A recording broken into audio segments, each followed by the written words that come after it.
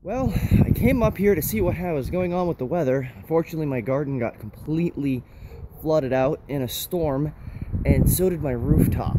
Uh, holy crap. I'm gonna have to figure out a way to get over and unclog the drain. Oh my.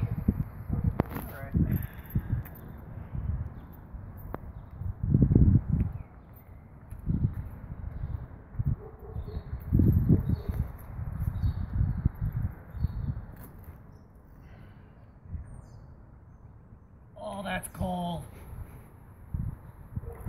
Oh my god, that's cold. Holy shit.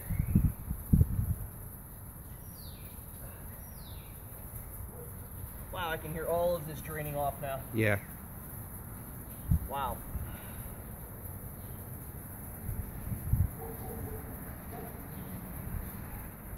And what, real, what, what really sucks is I had bunch of my seedlings right where this drainage was.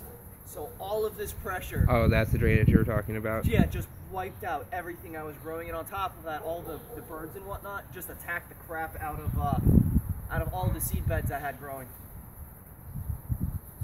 All right, might as well hit pause. We're gonna be here. Don't worry, it's waterproof. Can you look up? Alright. and there's still a lot up here. That's coming down. Video.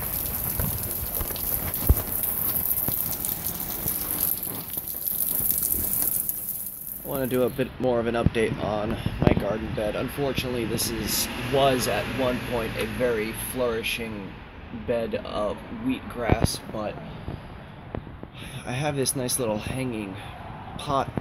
Well, honestly, it's supposed to be for the kitchen, and it's only supposed to be for hanging like spice racks kind of stuff. So I hung it outside. This is where I've been uh, starting all my seedlings, but unfortunately, some animals got into it and basically took all of the seeds out of my seed cups after we've just been attacked by a really bad storm. All of the rainwater basically flooded down onto here. I had the uh, some of my sproutlings down here. There you can see one of the cups, and pretty much everything got flooded out. So I've brought everything into the kitchen, and hopefully we can salvage. Uh, well, wheatgrass is growing great, but I've already lost the strawberries, raspberries, perennials, carrots, quite a bit. So let's go inside the kitchen and see what we got left. If you originally remember, I had some sprouted seeds in here, which are supposed to be uh, perennials, and based off of the pH level of the soil, should determine what the uh, the color of the petals were going to be, but they didn't take, unfortunately. Now the wheatgrass is growing fine. That's very very easy. Just some very soft soil or enriched soil grows like nothing. But unfortunately, it also attracts all the uh, the wildlife, like the birds and the squirrels, which you saw the damage done to my outside uh, seed bed, which is where these guys came from. This this damage was done by my own animals, Ninja and Nibble, Chinchilla and the rabbit, which is what I'm going to, or I should say that's those are the ones I'm growing it for. The AeroGarden not doing so great as expected. I have been tending to it, but it's just not getting the uh, the nutrients that it really needs because it's supposed to, I assume, recycle the, the nutrients in the aquaponics of, of the water onto the the the, the, the plants. It's just not getting the nutrients it needs or the sun. Now I did start some uh, some raspberries on five three. It's been about two weeks and they still haven't sprouted. I got a couple of small little sprouts coming back up. Um, these guys are not showing much yet. We've got some baby's breath over here, and uh, I got a clipping of that uh, hydrangea, I think it's called, that I have outside. I'm basically trying to uh, see if I can reestablish growing a, come on you, a root ball system. I'm gonna have to add some more water to that soon, but you can see it's it's actually starting to try to regrow in there.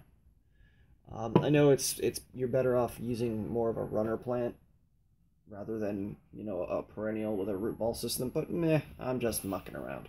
But unfortunately, I've lost my first batch of strawberries, first batch of first batch of strawberries, first batch of raspberries, uh, first batch of carrots, and a massive batch of wheatgrass. So right now, all I'm really left with is regrowing this wheatgrass, continuing growing the baby's breath, the raspberries, continuing tending to the AeroGarden tea kit as well as growing wheatgrass. Now I do have uh, cherry seeds, strawberry seeds, and blueberry seeds that still need to be planted, but after being flooded out twice and our current results, I think I'm going to tone down my ambitions just a little bit for a little while.